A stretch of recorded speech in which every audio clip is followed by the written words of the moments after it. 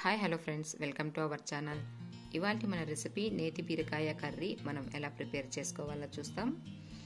Video చివరి దాకా చూడండి. ఈ నేతి బీరకాయల్లో పీచు ఎక్కువగా ఉంటుంది. అలానే విటమిన్ డి ఐరన్ చాలా ఉన్నాయి. మనకి హెల్త్కి చాలా మంచిది.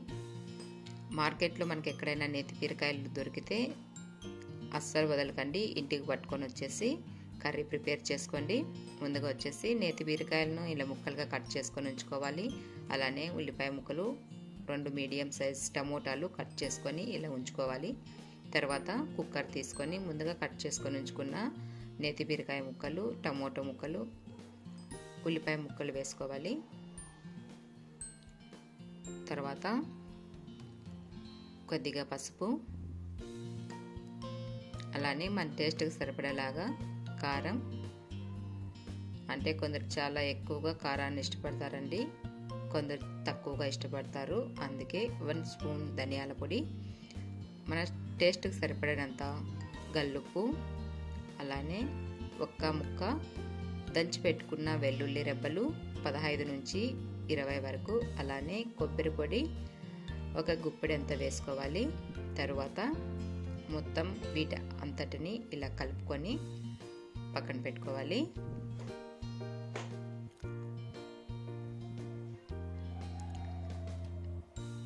ఇప్పుడు మనం ఈ నేతి బీరకాయకు పోపు పెట్టుకుందాం.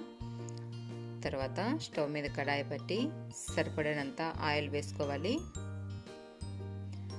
ఆయిల్ వేడెక్కిన తర్వాత పోపు దినుసులు వేసుకోవాలి శనగపప్పు ఉద్దిపప్పు ఆవాలు జీలకర్ర తర్వాత కరివేపాకు వేసి ఇలా పోపు వేగిన తర్వాత స్టవ్ ఆఫ్ చేసుకొని మనం కుక్కర్లో వేసుకున్న నేతి బీరకాయ ముక్కల్లోనికి ఈ పోపు వేసుకొని కలుపుకొని వాటర్ కొద్దిగా వేయాలండి.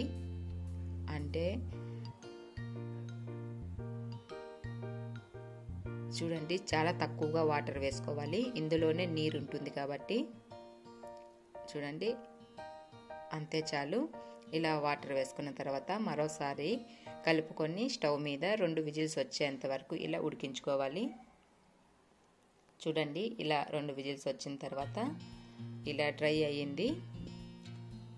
ఈ నేతి బీరకాయ మనం రోటీస్లోనికి అలానే రైస్లోనికి అన్నిట్లోనికి యూజ్ అవుతుంది. నేతి బీరకాయ curry ready friends. Thank you for watching.